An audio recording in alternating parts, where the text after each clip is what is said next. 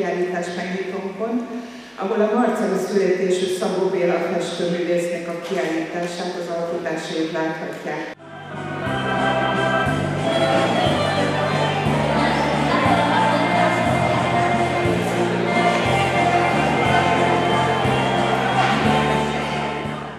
A körötte álló osztálytársakkal beszélgetvén azt mondta, hogy egy valaki tart született kolonistának közülünk, és az Szabó Ezt sosem mondtam el neki, nehogy elkaphassa magát, de most már végre tudja.